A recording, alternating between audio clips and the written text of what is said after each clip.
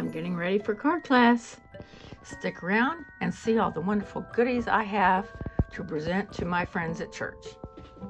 Hello, my crafty friends. Welcome back to my channel. I, I am getting ready to do an in-person card class at my church, and we wanted to start off with Halloween cards. So I'm going to show you all the different pieces I have, leftovers and new things.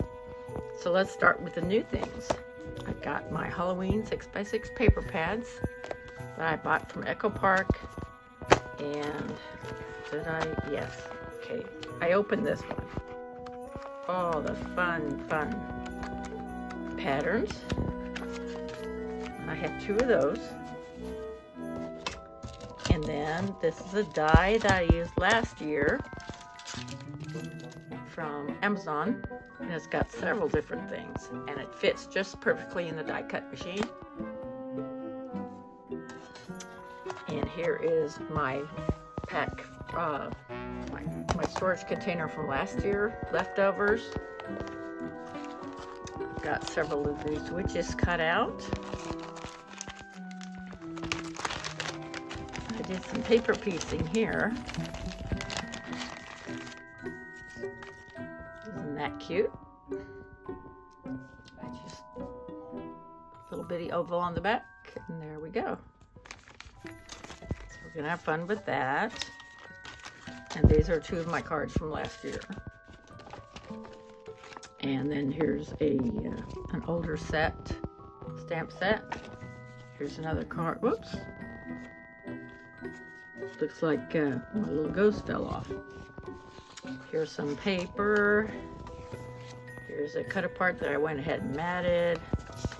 Here's some black sparkly paper that I made spiders out of. Some more paper, black paper, and here's some designer series paper, the pattern paper. This is nice and, and soft and silky. This cute. Bought this on Amazon.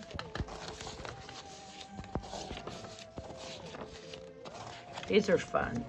We fussy cut these out. And this this is from Echo Park.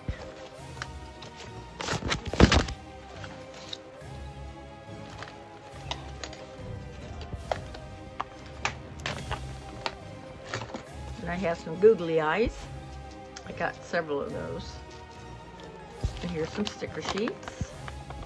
Or one sticker sheet. I mean, it's been pretty used.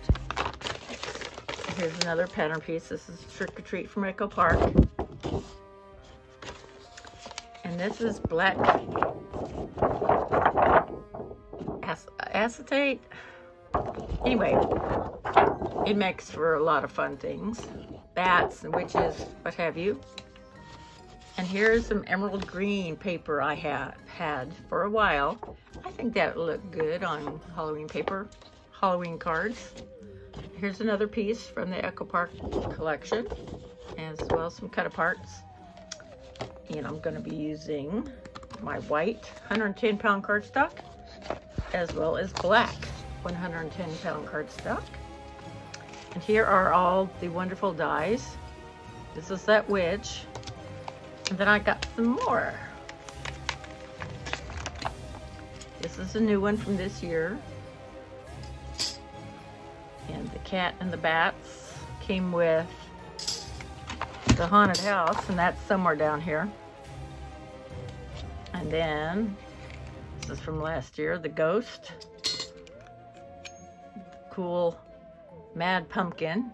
You can paper piece that also. Oh, and there's my spiders. Thank goodness. I wondered where those were. And some bats and spiders.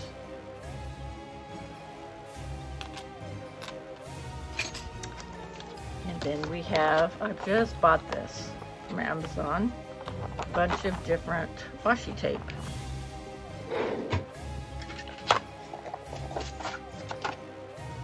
All kinds of beautiful colors. Here, there, sorry about that. getting it in frame would help. There we are.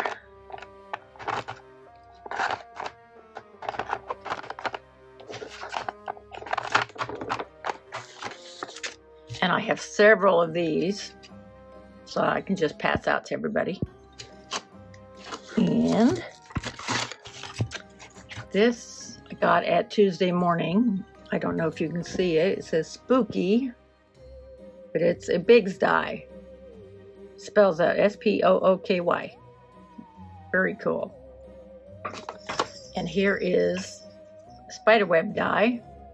I I found out that I have to put quite a bit more pressure on it to get it to cut all the way because sometimes I cut it out of vellum, which I think is kind of cool, but you have to really put a lot of pressure in the middle or else it's just a pain to try to get everything out. And then this is new for this year. This is a spiderweb embossing folder. That'll be fun.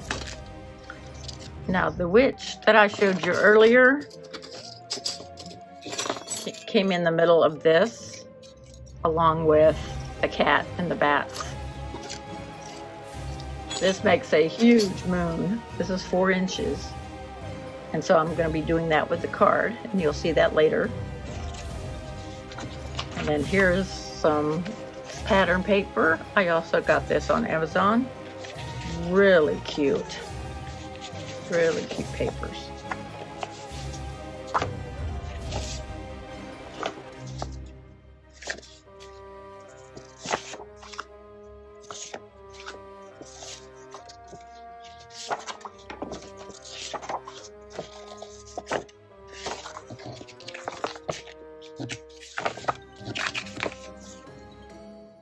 Make a great background.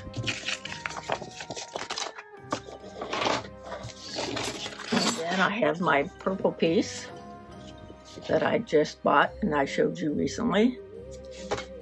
And I'm going to bring some enamel dots and and of course my my stamp uh, blocks.